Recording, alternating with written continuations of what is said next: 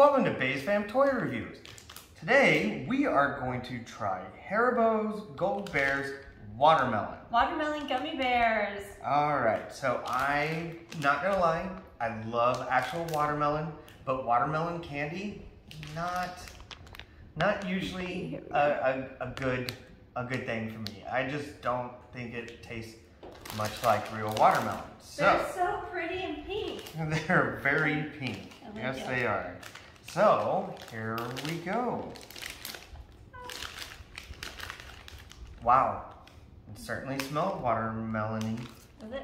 Yeah. Ooh. As soon as I opened it, I Wow. could smell it. Okay, Like, let's show off the cute little pink bears. of course. Carry both. Carry. Hello. okay. mm. Mmm. They're good. They just like I watermelon. mean, really good. They I mean, really are. always good, but we thought these would be fun to try. So, Definitely recommend them. They're awesome. uh, yeah, and all.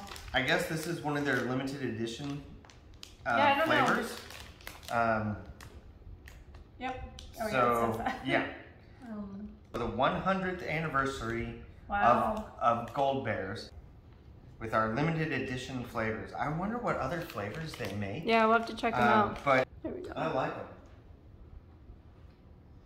Awesome.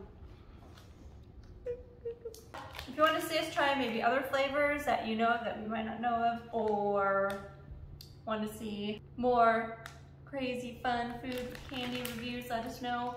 Give us some ideas, let us know what you like, what you don't like. If you've tried these and you like them, hit the like button.